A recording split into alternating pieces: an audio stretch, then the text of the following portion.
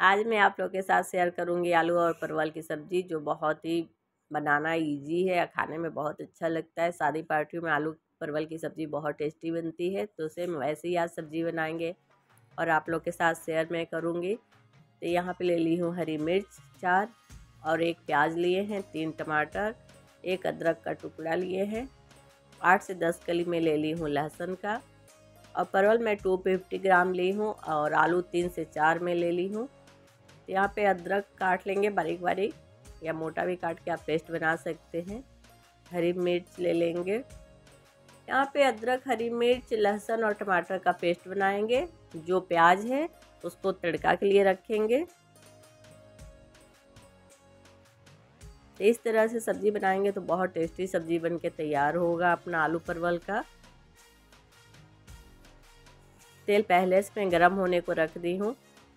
तेल यहाँ मैं छः से सात स्पून ली हूँ और मोटा मोटा मैं काट के ली थी परवल। एक परवल में चार टुकड़ा बनाई हूँ। और परवल को बिल्कुल डीप फ्राई नहीं करना है। एक अच्छा सा कलर आएगा, उसके बाद हमें निकाल लेना है परवल को।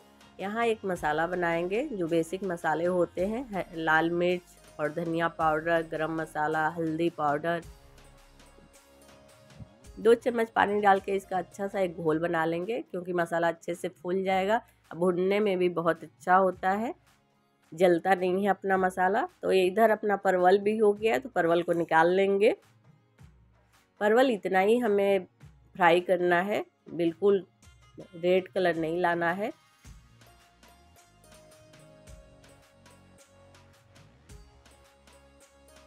अब आलू भी फ्राई कर लेंगे।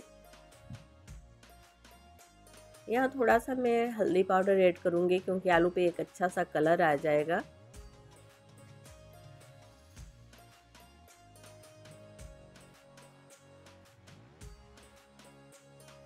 आलू भी अपना फ्राई हो गया है तो इसे भी निकाल लेंगे।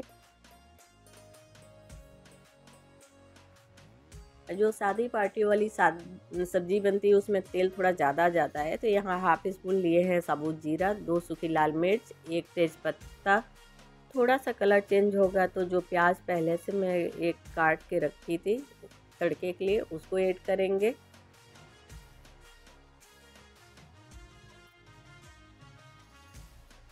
हमें ज़्यादा ब्राउन नहीं करना है प्याज को। अब यहाँ पे हम मसाला ऐड कर देंगे, जो धनिया पाउडर, लाल मिर्च और हल्दी पाउडर का बनाए थे उसको ऐड करेंगे। अच्छे से भून लेंगे। तो इस तरह से अगर सब्ज़ी में आप मसाला डालते हैं तो आपका मसाला नहीं जलता है। थोड़ा सा बाउल में लगा था मसाला, जो पानी डाल के मैं वो भी ऐड कर दी। मसाला अच्छे से भून गया है, क्योंकि सूखा मसाला था। उसके बाद ऐड कर दिए हैं टमाटर, लहसुन, अदरक और हरी मिर्च का पेस्ट।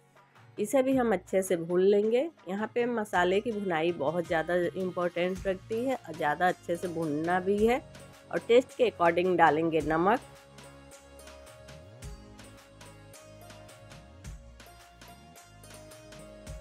देखिए, अपना मसाला बहुत हद तक भून गया है। वन स्पून यहाँ पे ऐड की हूँ कश्मीरी लाल मिर्च पाउडर। मुझे पहले ऐड करना था, लेकिन सॉरी देखिए कितना अच्छा कलर आ गया है आलू और परवल पे। इतना ही हमें फ्राई करना था। अब ऐड कर देंगे मसाला में और अच्छे से मिक्स करेंगे कि आलू और परवल पे एक अच्छा सा मसाले की कोटिंग आ जाए। उसके बाद यहाँ पानी ऐड करेंगे क्योंकि मसाला अच्छे से भून गया था और आलू परवल पहले से फ्राई किया हुआ था। तो पाँच से सात मिनट लगेगा सब्ज़ी बनने में, ज़्यादा टाइम नहीं लगेगा। थोड़ा सा पानी मैं और ऐड कर रही हूँ यहाँ पे।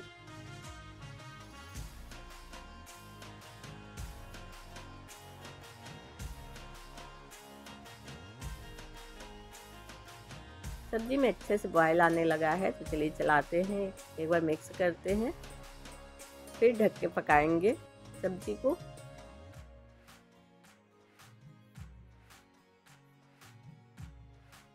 थोड़ा सा फ्रेश धनिया से गार्निश करेंगे। सब्ज़ी अपनी बन के बिल्कुल तैयार हो गई है।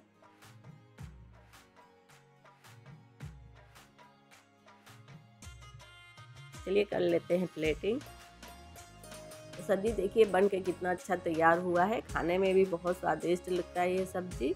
ये रेसिपी पसंद आई हो आप लोगों को तो ज़रूर एक बार ट्राई आप लोग करना। और बताना आप लोग को मेरी रेसिपी कैसी लगती है, आप लोग कहाँ से देखते हैं। तो लाइक करिए सब्सक्राइब करिए। Thanks for watching